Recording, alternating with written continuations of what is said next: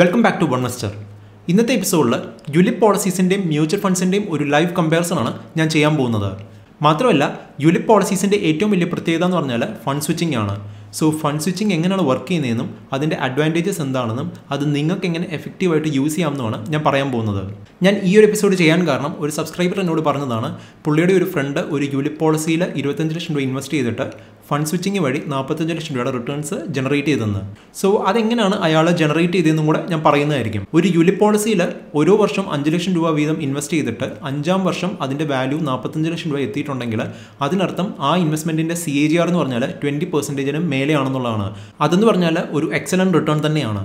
അത് എങ്ങനെയാണ് പുള്ളി അച്ചീവ് ചെയ്തതെന്നും നിങ്ങൾക്കും അത് എങ്ങനെയാണ് അച്ചീവ് ചെയ്യാൻ പറ്റുന്നതെന്നും ഞാൻ പറയുന്നതായിരിക്കും. Welcome back to one muster ഇന്നത്തെ എപ്പിസോഡിൽ യുലി പ്ലാൻസിന്റെയും മ്യൂച്വൽ ഫണ്ട്സിന്റെയും ഒരു ലൈവ് കമ്പാരിസൺ ആണ് ഞാൻ ചെയ്യാൻ പോകുന്നത്. യുലി പ്ലാൻസിനെ പറ്റി ഞാൻ പ്രീവിയസ്ലി ഒരു വീഡിയോ ചെയ്തിട്ടുണ്ടായിരുന്നു. അതിൽ ഞാൻ യുലി പ്ലാൻസിന്റെയും മ്യൂച്വൽ ഫണ്ട്സിന്റെയും ഫീച്ചേഴ്സും ഹൈലൈറ്റ്സും എല്ലാം ഞാൻ കാണിച്ചും തന്നിരുന്നു. സോ അതിൽ ഞാൻ പറഞ്ഞിട്ടുണ്ടായിരുന്നു യുലി പ്ലാൻസ് എന്ന് പറഞ്ഞാൽ അതൊരു മ്യൂച്വൽ ഫണ്ടിന്റെയും ടേം ഇൻഷുറൻസിന്റെയും കോമ്പിനേഷൻ ആണെന്ന്. അതുമാത്രമല്ല യുലിപ് പോളിസീസ് എന്ന് പറഞ്ഞാൽ അതൊരു നല്ല ഇൻവെസ്റ്റ്മെന്റ് പ്രോഡക്റ്റും ആവുന്നില്ല നല്ലൊരു ഇൻഷുറൻസ് പ്രോഡക്റ്റും ആവുന്നില്ല എന്നുള്ളതും. ആ എപ്പിസോഡ് കാണണമെന്നുണ്ടെങ്കിൽ ഈ വീഡിയോയുടെ ഡിസ്ക്രിപ്ഷൻ ചെക്ക് ചെയ്യുക അല്ലെങ്കിൽ ലെഫ്റ്റിലുള്ള ഐ ബട്ടൺ ക്ലിക്ക് ചെയ്യുക. സോ ഇന്നത്തെ എപ്പിസോഡിൽ ഒരു യുലിപ് പോളിസിയുടെയും മ്യൂച്വൽ ഫണ്ടിന്റെയും ലൈവ് കമ്പാരിസൺ ആണ് ഞാൻ ചെയ്യാൻ പോകുന്നത്. അതുകൊണ്ട് ഉദ്ദേശിക്കുന്നത് ഈ രണ്ട് ഇൻവെസ്റ്റ്മെന്റ് പ്രോഡക്റ്റിന്റെയും പോർട്ട്ഫോളിയോ നിങ്ങൾക്ക് കാണിച്ചു തരിക എന്നുള്ളതാണ്. സോ അത് കാണുമ്പോൾ നിങ്ങൾക്ക് മനസ്സിലാക്കാവുന്നതേ ഉള്ളൂ ഒരു മ്യൂച്വൽ ഫണ്ട് എന്തുകൊണ്ട് ഒരു യുലിപ് പോളിസിയെക്കാട്ടിലും ബെറ്റർ ഓപ്ഷൻ ആണെന്നുള്ളത്. പക്ഷേ അതിനർത്ഥം ഒരു യുലിപ് പോളിസി ഒരു വേഴ്സ്റ്റ് ഇൻവെസ്റ്റ്മെന്റ് ഓപ്ഷൻ ആണെന്നുമല്ല. ഒരു യുലിപ് പോളിസിക്കും അതിന്റേതായിട്ടുള്ള ഫീച്ചേഴ്സും അഡ്വാന്റേജസും ഉണ്ട്. അതും ഞാൻ ഈ എപ്പിസോഡിൽ കാണിച്ചു തരുന്നതായിരിക്കും. സോ ഈ എപ്പിസോഡ് നിങ്ങൾ മുഴുവൻ കാണുമ്പോൾ നിങ്ങൾക്ക് മനസ്സിലാവും ഒരു മ്യൂച്വൽ ഫണ്ടിൽ എപ്പോഴാണ് ഇൻവെസ്റ്റ് ചെയ്യേണ്ടത് അതുപോലെ ഒരു യുലിപ് പോളിസിയിൽ എപ്പോഴാണ് ഇൻവെസ്റ്റ് ചെയ്യേണ്ടത് എന്നുള്ളത്. ഈ ലൈവ് കമ്പാരിസണിന് വേണ്ടിയിട്ട് ഞാൻ സെലക്ട് ചെയ്തിരിക്കുന്ന പ്രോഡക്റ്റ്സ് എന്ന് പറഞ്ഞാൽ എച്ച് ഡി എഫ് സി ലൈഫിന്റെ ക്ലിക്ക് ടു ഇൻവെസ്റ്റ് യുലിപ് പ്ലാനും പിന്നെ ആക്സസിന്റെ ലോങ് ടേം ഇക്വിറ്റി ഫണ്ട് എന്ന് പറഞ്ഞാൽ ഒരു E L S S mutual ഫണ്ടുമാണ് ഞാൻ ഈ രണ്ട് പ്രോഡക്റ്റ്സ് സെലക്ട് ചെയ്യാൻ കാരണം ഇതിൽ ഞാൻ പേഴ്സണലി ഇൻവെസ്റ്റ് ചെയ്തിട്ടുണ്ടായിരുന്നു അതുകൊണ്ട് തന്നെയാണ്. സോ ഈ രണ്ട് പ്രോഡക്ട്സിന്റെയും എനിക്ക് ഫീച്ചേഴ്സും അഡ്വാന്റേജസും ചാർജസും എല്ലാം അറിയാവുന്നതുകൊണ്ടാണ് ഞാൻ ഈ രണ്ട് പ്രോഡക്ട്സ് തന്നെ സെലക്ട് ചെയ്തത്. ഇതിൽ ആക്സിസിന്റെ ലോങ് ടേം ഇക്വിറ്റി ഫണ്ട് എന്ന് പറഞ്ഞാൽ ഈ ഇ എൽ എസ് എസ് പ്ലാനിന്റെ ആനുവൽ ചാർജസ് നിങ്ങൾക്ക് കാണാൻ പറ്റും two point zero one percentage ആണ്. ഇത് റെഗുലർ പ്ലാൻ ആണെന്നുണ്ടെങ്കിൽ ഇനി നമ്മൾ പർച്ചേസ് ചെയ്യുന്നത് ഡയറക്റ്റ് പ്ലാൻ ആണെന്നുണ്ടെങ്കിൽ നമ്മുടെ എക്സ്പെൻസ് റേഷ്യോ അല്ലെങ്കിൽ ആനുവൽ ചാർജസ് എന്ന് പറഞ്ഞാൽ പോയിന്റ് എയ്റ്റ് എയ്റ്റ് പെർസെന്റേജ് മാത്രമാണ്. സോ നിങ്ങളിപ്പം ഈ ഫണ്ടിൽ ഇൻവെസ്റ്റ് ചെയ്യുകയാണെങ്കിൽ നിങ്ങൾക്ക് ആനുവലി വരുന്ന ചാർജസ് എന്ന് പറയുന്നത് ഈ പോയിന്റ് എയ്റ്റ് എയ്റ്റ് പെർസെന്റേജ് ആണ്. സോ നിങ്ങളുടെ ഫണ്ട് ഇപ്പം സേ ഒരു നയൻ പെർസെന്റേജ് റിട്ടേൺസ് ജനറേറ്റ് ചെയ്തിട്ടുണ്ടെങ്കിൽ അതിൽ നിന്ന് പോയിന്റ് എയ്റ്റ് എയ്റ്റ് പെർസെന്റേജ് ആണ് ഫണ്ട് ചാർജസ് ആയിട്ട് പോകുന്നത്. ഇനി എച്ച് ഡി എഫ് സി ലൈഫിന്റെ ക്ലിക്ക് ടു ഇൻവെസ്റ്റ് എന്ന് പറഞ്ഞാൽ യൂലിപ്ലാനിന്റെ ചാർജസ് നമുക്ക് നോക്കാം. ഞാൻ എന്റെ യുലപ്പ് വേഴ്സസ് മ്യൂച്വൽ ഫണ്ട് എന്ന് പറഞ്ഞ എപ്പിസോഡിൽ പറഞ്ഞിട്ടുണ്ടായിരുന്നു. യുലപ്സിന് ബേസിക്കലി അഞ്ച് ചാർജസ് ആണ് ഉള്ളത്. Premium allocation charge policy administration charge discontinuation charge fund management charge mortality charge ഇനി ഈ യുലിപ്പ് പ്ലാനിന്റെ പ്രത്യേകത എന്താണെന്ന് ചോദിച്ചാൽ ഇതിന് ഫണ്ട് മാനേജ്മെന്റ് ചാർജും പിന്നെ മൊർട്ടാലിറ്റി ചാർജസും മാത്രമേ ആപ്ലിക്കബിൾ ആയിട്ടുള്ളൂ. സോ ഈ പ്ലാനിന്റെ ഫണ്ട് മാനേജ്മെന്റ് ചാർജ് എന്ന് പറഞ്ഞാൽ one point three five percentage ആണ് ഇക്വിറ്റി ഫണ്ടിന് അതൊരു റെഗുലർ മ്യൂച്വൽ ഫണ്ടായിട്ട് കമ്പയർ ചെയ്യുകയാണെങ്കിൽ ആക്ച്വലി ഇത് കുറവാണ്. ഇനി ഒരു ഡയറക്റ്റ് മ്യൂച്വൽ ഫണ്ടുമായിട്ട് കമ്പയർ ചെയ്യുകയാണെങ്കിൽ കുറച്ച് കൂടുതലുമാണ്. സോ ഒരു യുലപ്പും മ്യൂച്വൽ ഫണ്ടും തമ്മിലുള്ള പ്രൈമറി ഡിഫറൻസ് എന്ന് പറഞ്ഞാൽ അതിന്റെ ചാർജസ് ആണ് ഒന്ന്. പിന്നെ ഓൾറെഡി ഞാൻ എന്റെ പ്രീവിയസ് എപ്പിസോഡിൽ പറഞ്ഞിട്ടുള്ളതുപോലെ തന്നെ യുലിപ്പ് പ്ലാൻസിന് ഇൻഷുറൻസ് പോളിസിയും കൂടെ വരുന്നുണ്ട്. പക്ഷേ മ്യൂച്വൽ ഫണ്ടിന് ഇൻഷുറൻസ് പോളിസീസ് ഇല്ല. പക്ഷേ ഞാൻ എന്റെ പ്രീവിയസ് എപ്പിസോഡിൽ ഓൾറെഡി പറഞ്ഞിട്ടുണ്ട് യുലിപ്പ് പ്ലാൻസ് എന്ന് പറഞ്ഞാൽ അതൊരു നല്ല ഇൻവെസ്റ്റ്മെന്റ് ഓപ്ഷനും ആകുന്നില്ല. നല്ലൊരു ഇൻഷുറൻസ് ഓപ്ഷനും ആകുന്നില്ല. അതിന്റെ റീസൺ എന്ന് പറഞ്ഞാൽ ഈ രണ്ട് പ്രോഡക്റ്റ്സിന്റെ ബെനിഫിറ്റ്സ് നമുക്കൊരു യൂലിപ്പ് പ്ലാൻസിൽ നിന്ന് കിട്ടത്തില്ല. പക്ഷേ എന്നാലും യൂലിപ്പ് പോളിസീസിനും അതിന്റേതായിട്ടുള്ള കുറച്ച് യുണീക്ക് അഡ്വാന്റേജസ് ഉണ്ട്. അതിലൊന്നെന്ന് പറഞ്ഞാൽ ഫണ്ട് സ്വിച്ചിങ് ആണ്. നമ്മളൊരു യുലിപ്പിൽ ഇൻവെസ്റ്റ് ചെയ്യുമ്പോഴത്തേക്ക് നമുക്ക് ഡിസൈഡ് ചെയ്യാൻ പറ്റും ഇക്വിറ്റിയിലാണോ കൂടുതൽ എക്സ്പോഷർ എടുക്കേണ്ടത് അതോ ഡെപ്റ്റിലാണോ എക്സ്പോഷർ കൂടുതൽ എടുക്കേണ്ടത് എന്നുള്ളത്. ആ ഒരു ഫ്ലെക്സിബിലിറ്റി മ്യൂച്വൽ ഫണ്ടിൽ നമുക്ക് കിട്ടത്തില്ല. അല്ലെങ്കിൽ പിന്നെ മ്യൂച്വൽ ഫണ്ടിലാണെങ്കിൽ നമ്മളിപ്പോൾ ഒരു ഇക്വിറ്റി ഫണ്ടിൽ ഇൻവെസ്റ്റ് ചെയ്തിട്ട് നമുക്ക് ആവശ്യമുള്ളപ്പം അത് സെല്ല് ചെയ്തിട്ട് ഡെപ്റ്റിലോട്ട് സ്വിച്ച് ചെയ്യേണ്ടി വരും. സോ അങ്ങനെ വരുമ്പോഴത്തേക്ക് അത് ടാക്സ് ഫ്രണ്ട്ലി അല്ല. കാരണം നമുക്ക് ടാക്സും ആപ്ലിക്കബിൾ ആയിരിക്കാം. അതുപോലെ ചാർജസും കൂടുമായിരിക്കാം കാരണം എക്സിറ്റ് ലോഡോ എൻട്രി ലോഡോ അങ്ങനെ എന്തെങ്കിലും ഉണ്ടെന്നുണ്ടെങ്കിൽ. അതേപോലെ ഒരു പ്രശ്നം യൂണിറ്റ് പ്ലാൻസിന് വരത്തില്ല. പക്ഷേ എന്നാലും ഒരു യൂണിറ്റ് പ്ലാൻ എടുക്കുന്നുണ്ടെങ്കിൽ അതിന്റെ ഈ ഫണ്ട് സ്വിച്ചിങ് എങ്ങനെ ചെയ്യണമെന്നും എപ്പോൾ ചെയ്യണമെന്നും അറിയാമെങ്കിൽ മാത്രമേ നിങ്ങൾക്ക് അതിൽ നിന്നൊരു ബെനിഫിറ്റ് കിട്ടത്തുള്ളൂ. ഇനി യൂലിപ്പ് പ്ലാനിന്റെ ചാർജസും അതുപോലെ അതിന്റെ ഇൻഷുറൻസ് പാർട്ടും എല്ലാം നമ്മൾ ഇഗ്നോർ ചെയ്യുകയാണെങ്കിൽ അല്ലെങ്കിൽ അവോയ്ഡ് ചെയ്യുകയാണെങ്കിൽ ആക്ച്വലി യൂലിപ്പ് പ്ലാൻ എന്ന് പറഞ്ഞാലും അതൊരു മ്യൂച്വൽ ഫണ്ട് തന്നെയാണ്. കാരണം ഒരു മ്യൂച്വൽ ഫണ്ടിന്റെ ആണെങ്കിലും യൂലിപ്പിന്റെ ആണെങ്കിലും പോർട്ട്ഫോളിയോ ചെക്ക് ചെയ്യുകയാണെങ്കിൽ ഈ രണ്ട് പ്രോഡക്ട്സും ഇൻവെസ്റ്റ് ചെയ്തിരിക്കുന്നത് ഒരേ സ്റ്റോക്സിലും സെക്ടേഴ്സിലൊക്കെ തന്നെയാണ്. അല്ലാതെ മ്യൂച്വൽ ഫണ്ടിനോ അല്ലെങ്കിൽ യൂലിപ്പിനോ അതിന്റേതായിട്ടുള്ളൊരു അഡ്വാന്റേജോ അല്ലെങ്കിൽ ഒരു ബോണസോ ഒന്നും കിട്ടാനില്ല നമ്മൾ അതിൽ ഇൻവെസ്റ്റ് ചെയ്താൽ കാരണം ഈ രണ്ട് പ്രോഡക്റ്റും ഇൻവെസ്റ്റ് ചെയ്യുന്നത് സ്റ്റോക്ക് മാർക്കറ്റിലാണ് നമ്മൾ ചൂസ് ചെയ്യുന്നത് ഇക്വിറ്റി ഫണ്ട് ആണെന്നുണ്ടെങ്കിൽ. അതുകൊണ്ട് തന്നെ നമ്മുടെ റിട്ടേൺസ് ഡിപ്പെൻഡ് ചെയ്യുന്നത് സ്റ്റോക്ക് മാർക്കറ്റിന്റെ പെർഫോമൻസിനെയാണ്. പക്ഷേ ഈ രണ്ട് പ്രോഡക്ട്സും ഇൻവെസ്റ്റ് ചെയ്തിരിക്കുന്ന കമ്പനീസിന്റെ വെയിറ്റേജ് എന്ന് പറഞ്ഞാൽ ഡിഫറന്റ് ആയിരിക്കും. ഫോർ എക്സാമ്പിൾ ഇപ്പം മ്യൂച്വൽ ഫണ്ടിന്റെ ഏതൊരു ഒരു ഫണ്ടിന്റെ എക്സ്പോഷർ എന്ന് പറഞ്ഞാൽ എച്ച് ഡി എഫ് സി ബാങ്കിൽ ടെൻ പെർസെന്റേജ് ആയിരിക്കാം. പക്ഷേ ഒരു യൂലിപ്പ് എടുത്ത് നോക്കുകയാണെങ്കിൽ ചിലപ്പം ഫൈവ് പെർസെന്റേജ് കാണത്തുള്ളൂ. ആ ഡിഫറൻസ് തന്നെയായിരിക്കാം ഈ രണ്ട് പ്രോഡക്ട്സിന്റെയും റിട്ടേൺസിലുള്ള ഡിഫറൻസും അല്ലാതെ നോക്കുകയാണെങ്കിൽ ഈ രണ്ട് പ്രോഡക്ട്സും ഇൻവെസ്റ്റ് ചെയ്തിരിക്കുന്ന മേജർ കമ്പനീസ് എന്ന് പറയുന്നത് എല്ലാം ഓൾമോസ്റ്റ് സെയിം തന്നെ ആയിരിക്കും. ഫോർ എക്സാമ്പിൾ ആക്സസിന്റെ ലോങ് ടേം ഇക്വിറ്റി ഫണ്ടിന്റെ പോർട്ട്ഫോളിയോ നമുക്ക് ചെക്ക് ചെയ്യാം. സോ നിങ്ങൾക്ക് കാണാൻ പറ്റും. ആക്സിസിന്റെ ലോങ് ടേം ഇക്വിറ്റി ഫണ്ട് എന്ന് പറഞ്ഞാൽ ഈ മ്യൂച്വൽ ഫണ്ടിന്റെ ടോപ്പ് ഹോൾഡിംഗ്സ് എന്ന് പറഞ്ഞാൽ Bajaj Finance H D F C Bank T C S Kotak Bank Info Edge Nestle H D F C Maruti Avenue Supermarts Pidilite Divi's Infosys Torrent power doctor Reddy's Motherson Sumi അങ്ങനെ കുറച്ച് stocks ആണ്. ഇനി H D F C ലൈഫിന്റെ click to invest എന്ന് പറഞ്ഞ യൂലി പ്ലാനിന്റെ portfolio നമുക്ക് ചെക്ക് ചെയ്യാം.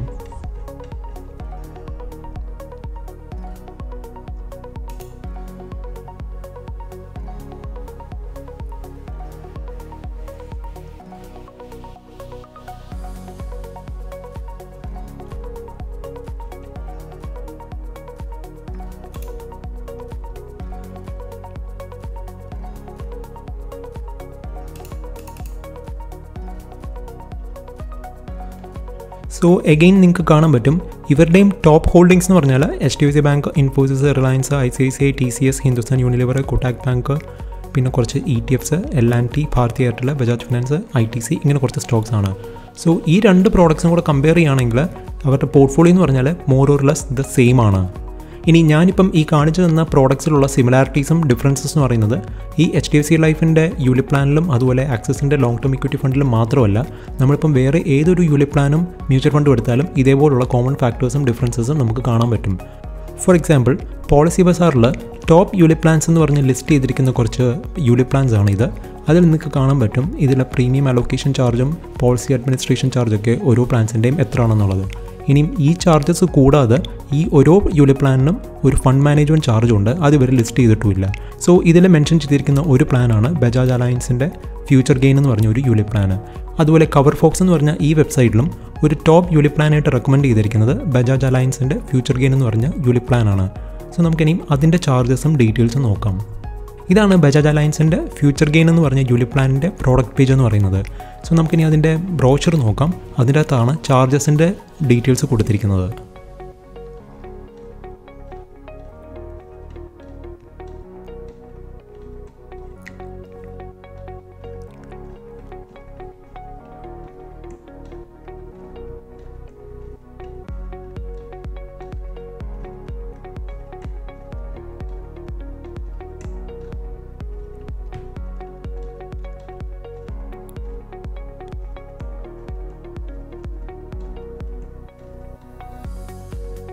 ഇതാണ് ബജാജ് അലയൻസിന്റെ ഫ്യൂച്ചർ ഗെയിൻ എന്ന് പറഞ്ഞ യൂലി പ്ലാനിന്റെ ചാർജസ് എന്ന് പറയുന്നത്.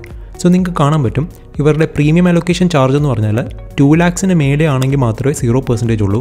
അല്ലെങ്കിൽ ടു പോയിന്റ് ഫൈവ് പെർസെന്റേജ് മുതൽ നയൻ പെർസെന്റേജ് വരെയാണ് ചാർജസ് എന്ന് പറയുന്നത്. ഇനി പോളിസി അഡ്മിനിസ്ട്രേഷൻ ചാർജ് എന്ന് പറഞ്ഞാൽ thirty three point three three റുപ്പീസാണ് ഓരോ മാസവും.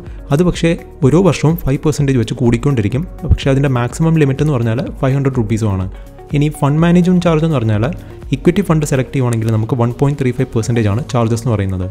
സോ ഇത്രയും ചാർജസ് തന്നെ മതി. നമ്മളുടെ ഇനീഷ്യൽ ക്യാപിറ്റലിന്റെ ഒരു ഫോർ ഫൈവ് പെർസെന്റേജ് ഈസി ആയിട്ട് ഇവർ ഡിഡക്റ്റ് ചെയ്യാനായിട്ട്. പക്ഷേ പോളിസി ബസാറിലും അതുപോലെ കവർ ഫോക്സിലും കാണിച്ചിരിക്കുന്നത് ഈ പ്ലാനിന് zero percent to one point five percentage മാത്രമേ പ്രീമിയം അലൊക്കേഷൻ ചാർജ് ഉള്ളൂ. അതുപോലെ പോളിസി അഡ്മിനിസ്ട്രേഷൻ ചാർജ് എന്ന് പറഞ്ഞാൽ thirty three point three three റുപ്പീസിനുള്ളതാണ് അതുപോലെ ഇവർ ഫണ്ട് മാനേജ്മെന്റ് ചാർജ് മെൻഷൻ ചെയ്തിട്ടുമില്ല. ഇനി അതുപോലെ തന്നെ കവർ ഫോക്സിലും നോക്കുകയാണെങ്കിൽ അവരും കാണിച്ചിരിക്കുന്നത് ഓരോ പ്ലാൻസിന്റെയും പ്രീമിയം അലൊക്കേഷൻ ചാർജും കാണിക്കുന്നുണ്ട് പോളിസി അഡ്മിനിസ്ട്രേഷൻ ചാർജും കാണിച്ചിട്ടുണ്ട്. പക്ഷേ ഇതിന്റെ അത് ഫണ്ട് മാനേജ്മെന്റ് ചാർജ് മെൻഷൻ ചെയ്തിട്ടുമില്ല. അതുപോലെ ഇപ്പം പോളിസി അഡ്മിനിസ്ട്രേഷൻ ചാർജ് ഈ ബജാജിന്റെ പ്ലാൻ ആണെങ്കിൽ അതിന്റെ കൂടുന്ന കാര്യം അതിന്റെ അകത്ത് മെൻഷൻ ചെയ്തിട്ടുമില്ല. സോ ഇതിന്റെ അകത്തൊന്നും ഇവർ ട്രാൻസ്പെറന്റ് ആയിട്ടല്ല ഇവരുടെ ചാർജസ് കാണിച്ചിരിക്കുന്നത്. കാരണം ഈ വെബ്സൈറ്റ്സ് എല്ലാം തന്നെയും ഈ യൂണിറ്റ് പ്ലാൻസ് ഒക്കെ വിറ്റിട്ട് അതിന്റെ കമ്മീഷൻസ് ഏൺ ചെയ്യുന്നതാണ്.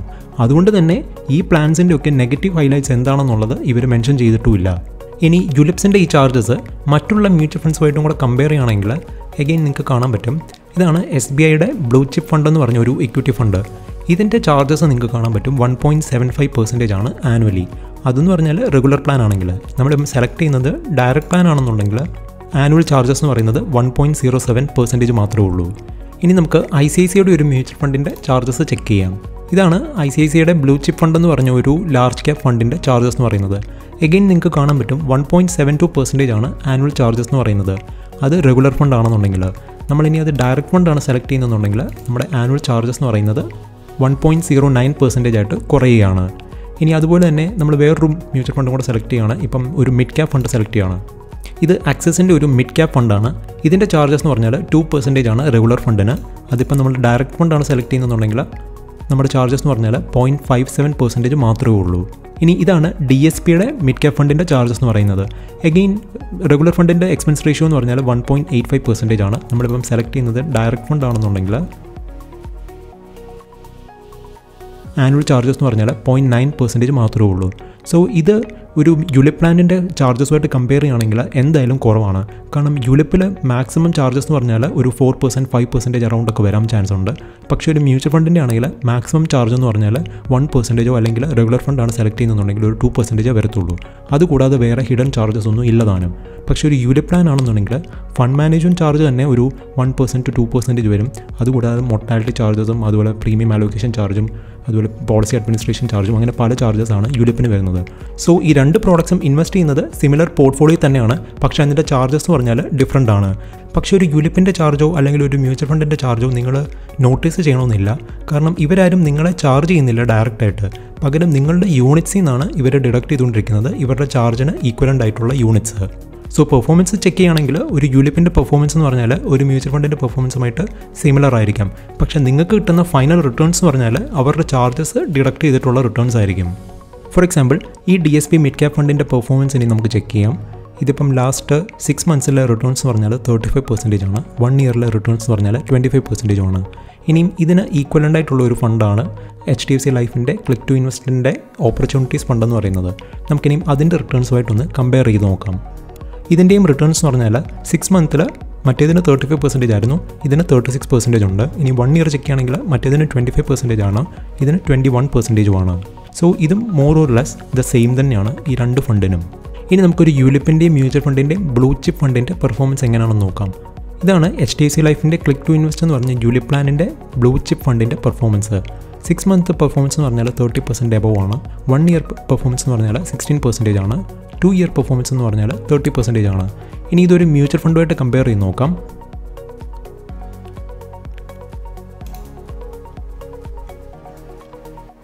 സിക്സ് മന്ത് പെർഫോമൻസ് എന്ന് പറഞ്ഞാൽ ഇപ്പം എസ് ബി ഐയുടെ ബ്ലൂ ചിപ്പ് ഫണ്ടിന്റെ പെർഫോമൻസ് എന്ന് പറഞ്ഞാൽ തേർട്ടി സെവൻ പെർസെന്റേജ് ആണ്. വൺ ഇയർ എന്ന് പറഞ്ഞാൽ ഫിഫ്റ്റീൻ പെർസെന്റേജ് ആണ്.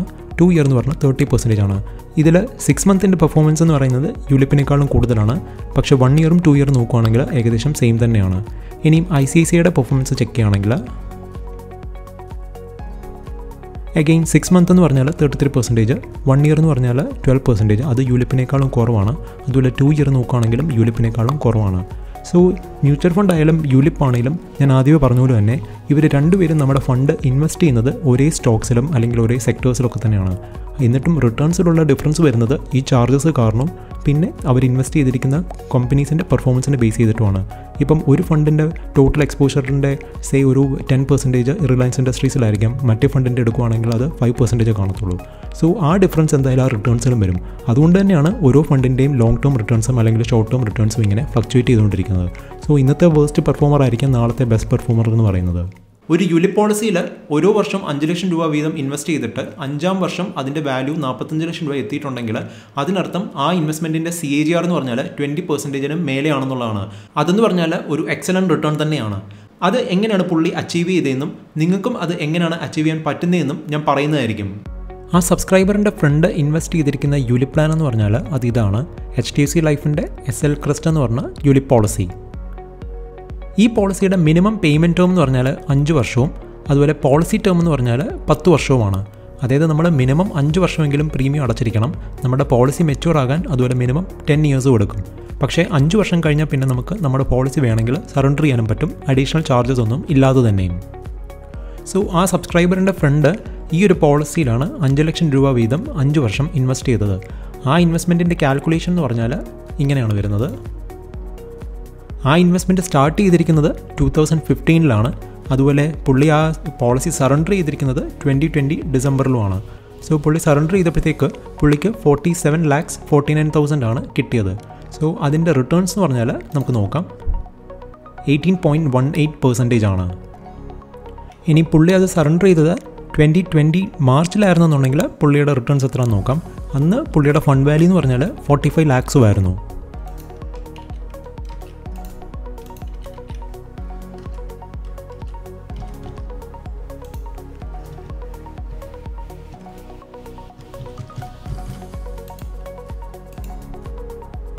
സോ നിങ്ങൾക്ക് കാണാൻ പറ്റും.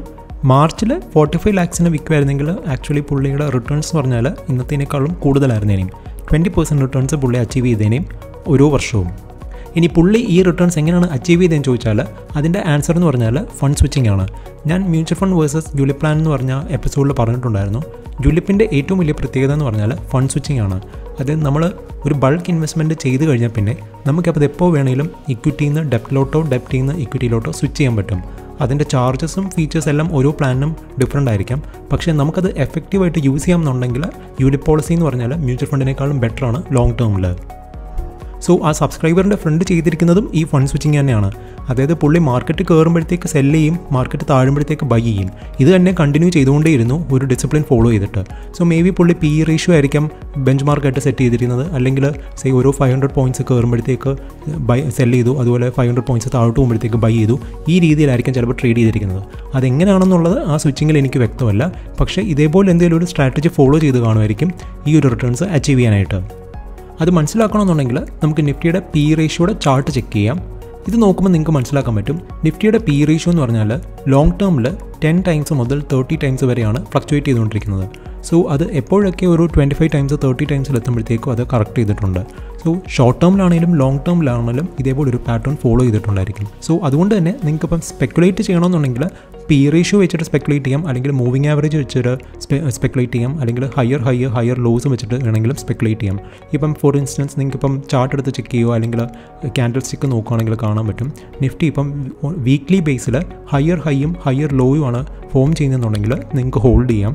അതെപ്പോഴാണ് ലോവർ ലോവും ലോവർ ഹൈയും ഫോം ചെയ്യുന്നത് വെച്ചാൽ അപ്പോൾ നിങ്ങൾക്ക് സെല്ലും ചെയ്യാം. ഇതേപോലെ ഡിസിപ്ലിൻ ആയിട്ട് നിങ്ങൾ ഫോളോ ചെയ്യുവാണെങ്കിൽ നിങ്ങൾക്ക് എന്തായാലും ഒരു ട്രേഡിംഗ് സ്ട്രാറ്റജി കിട്ടും. ഇനിയും ഈ സബ്സ്ക്രൈബറിന്റെ ഫ്രണ്ട് ഇതുപോലെ ഏത് സ്ട്രാറ്റജിയാണ് ഫോളോ ചെയ്തത്? അത് പുള്ളി ഇനി റാൻഡമായിട്ട് പുള്ളിയുടെ ഇന്റ്യൂഷൻ അനുസരിച്ച് ട്രേഡ് ചെയ്താണോ എന്നുള്ളത് വ്യക്തമല്ല. പക്ഷേ എനിവേ പുള്ളി എനിക്ക് അയച്ചു തന്ന ഡീറ്റെയിൽസ് വെച്ചിട്ട് അതിന്റെ അത് വ്യക്തമാണ്. പുള്ളി എൻ ഐ വി കൂടുമ്പം സെൽ ചെയ്തിട്ടുണ്ട്. എൻ ഐ വി താഴ്ന്നപ്പോഴത്തേക്ക് അത് ബൈ ചെയ്തിട്ടുമുണ്ട് ഇനി ഫണ്ട് സ്വിച്ചിങ് എങ്ങനെയാണ് ചെയ്യേണ്ടതെന്നുള്ളതാണ് ഞാൻ കാണിച്ചു തരാൻ പോകുന്നത്. അതിൽ ഞാൻ സെലക്ട് ചെയ്തിരിക്കുന്നത് ഞാൻ തന്നെ ഇൻവെസ്റ്റ് ചെയ്തിരിക്കുന്ന ഒരു യുലിപ് പോളിസിയാണ് ഞാൻ ഓൾറെഡി പറഞ്ഞിരുന്നു. ഞാൻ പേഴ്സണലി ഇൻവെസ്റ്റ് ചെയ്ത ഒരു യുലിപ് പോളിസിയാണ് എച്ച് ഡി എഫ് സി ലൈഫിന്റെ ക്ലിക്ക് ടു ഇൻവെസ്റ്റ് എന്ന് പറഞ്ഞ യുലിപ് പ്ലാൻ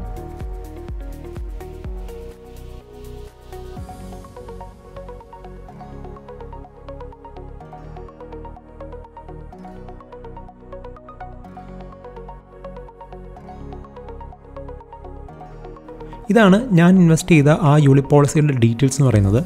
ഞാൻ ഇൻവെസ്റ്റ് ചെയ്തിരിക്കുന്നത് മാർച്ച് ടു തൗസൻഡ് നയന്റീനിലാണ് എന്റെ പ്രീമിയം എമൗണ്ട് എന്ന് പറഞ്ഞാൽ വൺ പോയിന്റ് ഫൈവ് ലാക്സ് ആണ്. അതിന്റെ മെച്യൂരിറ്റി എന്ന് പറഞ്ഞാൽ മാർച്ച് ടു ട്വന്റി ട്വന്റി ഫോറുമാണ് ഇത് ഞാൻ അധികം തവണ സ്വിച്ച് ചെയ്തിട്ടില്ല. ഇനീഷ്യൽ ടൈംസിലെപ്പോൾ മാത്രമേ അത് സ്വിച്ച് ചെയ്തിട്ടുള്ളൂ.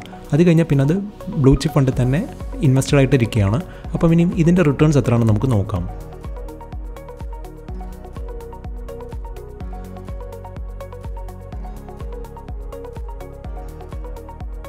സോ നിങ്ങൾക്ക് കാണാൻ പറ്റും. ഇതിന്റെ ഇപ്പോഴത്തെ ഫണ്ട് വാല്യൂ എന്ന് പറഞ്ഞാൽ വൺ പോയിന്റ് എയ്റ്റ് ലാക്സ് ആണ്. എന്റെ ഇൻവെസ്റ്റ്മെന്റ് എന്ന് പറഞ്ഞാൽ വൺ പോയിന്റ് ഫൈവ് ലാക്സ് ആണ്. സോ അതിന്റെ റിട്ടേൺസ് എത്രയാണെന്നുള്ളത് നമുക്ക് ആദ്യം മെഷർ ചെയ്യാം.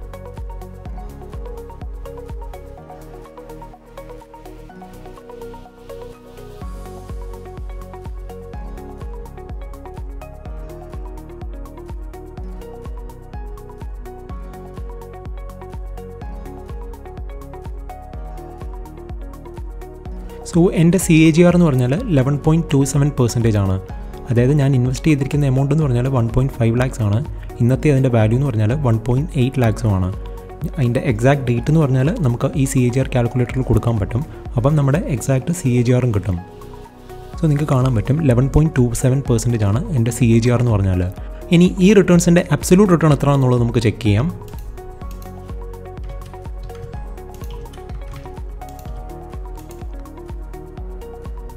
അതെന്ന് പറഞ്ഞാൽ ട്വന്റി പെർസെന്റേജ് ആണ്. സോ എനിക്ക് വേണേൽ ഇതൊരു ബെഞ്ച് മാർക്കായിട്ട് സെറ്റ് ചെയ്യാം. എന്റെ എനിക്ക് എപ്പോഴാണ് എന്റെ ഇൻവെസ്റ്റ്മെന്റിന്റെ വാല്യൂ ട്വന്റി പെർസെന്റേജ് പ്രോഫിറ്റ് തരുന്നത്? അപ്പോൾ ഞാനത് സേഫായിട്ട് ഇക്വിറ്റിയിൽ നിന്ന് ഡെപ്റ്റിലോട്ട് സ്വിച്ച് ചെയ്യുന്നു. അത് കഴിഞ്ഞ് മാർക്കറ്റ് കറക്റ്റ് ചെയ്യുമ്പോഴോ അല്ലെങ്കിൽ സേ പി ഇ റേഷ്യോ പിന്നെ കോൺട്രാക്ട് ചെയ്യുമ്പോഴോ ഞാൻ വീണ്ടും ബ്ലൂ ചിപ്പിലോട്ട് അതായത് ഇക്വിറ്റി ഫണ്ടിലോട്ട് സ്വിച്ച് ചെയ്യുന്നു എന്നുള്ളത്. ഇങ്ങനെ ഒരു പാറ്റേൺ ഫോളോ ചെയ്തിട്ടോ അല്ലെങ്കിൽ ഇങ്ങനെ ഒരു ഡിസിപ്ലിനായിട്ട് ഞാൻ ഇൻവെസ്റ്റ് ചെയ്യുകയാണെങ്കിൽ എനിക്ക് ലോങ് ടേം റിട്ടേൺസ് എന്തായാലും എബോവ് ആവറേജ് തന്നെ ആയിരിക്കും ഇനി നിങ്ങൾക്ക് ഇങ്ങനെ സ്വിച്ച് ചെയ്യാൻ പറ്റത്തില്ല അല്ലെങ്കിൽ നിങ്ങൾക്കിത് എപ്പോഴാണ് സ്വിച്ച് ചെയ്യേണ്ടതെന്ന് അറിയത്തില്ല എന്നുണ്ടെങ്കിൽ മ്യൂച്വൽ ഫണ്ട് തന്നെയായിരിക്കും നിങ്ങൾക്ക് ബെറ്റർ ഓപ്ഷൻ എന്ന് പറഞ്ഞാൽ കാരണം അതിന് വേണ്ടിയിട്ട് അധികം ചാർജസ് കൊടുത്തിട്ട് ഒരു യൂലിറ്റ് പ്ലാനിൽ ഇൻവെസ്റ്റ് ചെയ്യേണ്ട ആവശ്യമില്ല. ഇനി ഫണ്ട് സ്വിച്ചിങ് എങ്ങനെയാണ് ചെയ്യുന്നതെന്ന് ചോദിച്ചാൽ അതിന് യുലിപ്പിന്റെ പ്ലാറ്റ്ഫോമിലോട്ട് ലോഗിൻ ചെയ്യുക അത് കഴിഞ്ഞിട്ട് ട്രാൻസാക്ട് എടുക്കുക. അപ്പം അതിന് നമുക്ക് ഫണ്ട് സ്വിച്ചിങ്ങിന്റെ ഓപ്ഷൻ ഉണ്ട്.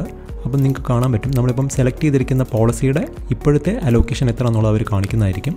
അതപ്പോൾ നമുക്ക് ഡിസൈഡ് ചെയ്യാൻ പറ്റും എങ്ങനെയാണ് നമുക്കത് ചേഞ്ച് ചെയ്യേണ്ടതെന്നുള്ളത്. ഇപ്പം ഇപ്പോഴത്തെ എന്റെ ഫണ്ട് വാല്യൂ എന്ന് പറഞ്ഞാൽ ഹൺഡ്രഡ് പെർസെന്റേജ് ബ്ലൂ ചിപ്പ് ഫണ്ടിലാണ് അതായത് ഇക്വിറ്റിയിലാണ് എനിക്കിപ്പം ഇപ്പോൾ മാർക്കറ്റ് ഇപ്പോൾ ഒരു ബബിൾ സ്റ്റേജിലാണെന്ന് എനിക്ക് തോന്നി. സോ ഇപ്പം സേഫായിട്ട് എനിക്ക് മൂവ് ചെയ്യണമെന്നുണ്ടെങ്കിൽ ഞാനിപ്പോൾ അത് മാറ്റിയിട്ട് സേ ഇൻകം ഫണ്ടിലോട്ടോ അല്ലെങ്കിൽ ബോൺ ഫണ്ടിലോട്ടോ എനിക്ക് വേണമെങ്കിൽ സ്വിച്ച് ചെയ്യാം. അതിപ്പം ഹൺഡ്രഡ് പെർസെന്റേജ് തന്നെ കൊടുക്കണമെന്നില്ല. ഇപ്പോൾ ഒരു ഫിഫ്റ്റി പെർസെന്റേജ് ബോണ്ടിലോട്ടും ഒരു സേ ഫിഫ്റ്റി പെർസെന്റേജ് ഇൻകം ഫണ്ടിലോട്ടും സെലക്ട് ചെയ്താൽ മതി.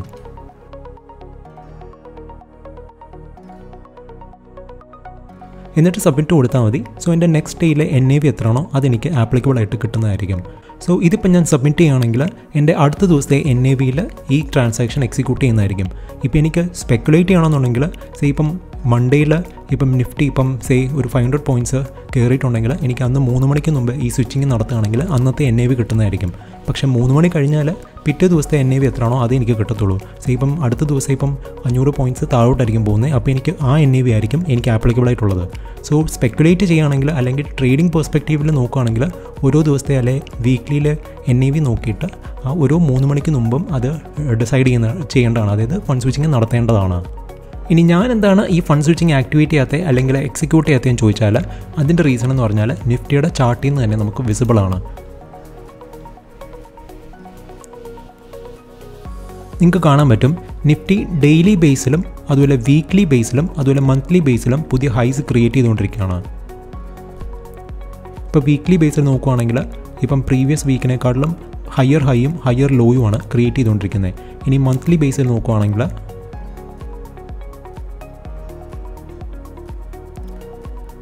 എഗെയിൻ നിങ്ങൾക്ക് കാണാൻ പറ്റും. പ്രീവിയസ് മന്തിനേക്കാളും ഹയർ ഹൈയും ഹയർ ലോയും ആണ് ക്രിയേറ്റ് ചെയ്തുകൊണ്ടിരിക്കുന്നത്. ഇത് ഡെയിലി ബേസിലോ വീക്ക്ലി ബേസിലോ അല്ലെങ്കിൽ മന്ത്ലി ബേസിലോ എപ്പോഴാണ് റിവേഴ്സ് ചെയ്യുന്നത് അതായിരിക്കും ഒരു സെൽ സിഗ്നൽ എന്ന് പറഞ്ഞാൽ. ഫോർ എക്സാമ്പിൾ നിങ്ങൾക്കിപ്പോൾ കാണാൻ പറ്റും. ജനുവരി ട്വന്റി ട്വന്റിയിൽ നിഫ്റ്റിയുടെ ഓൾ ടൈം ഹൈ എന്ന് പറഞ്ഞാൽ twelve thousand four hundred and thirty ആയിരുന്നു. അതിന് പ്രീവിയസ് മന്ത് നോക്കുകയാണെങ്കിലും പുതിയ പുതിയ ഹൈസും ലോസും ക്രിയേറ്റ് ചെയ്തുകൊണ്ടിരിക്കുകയായിരുന്നു.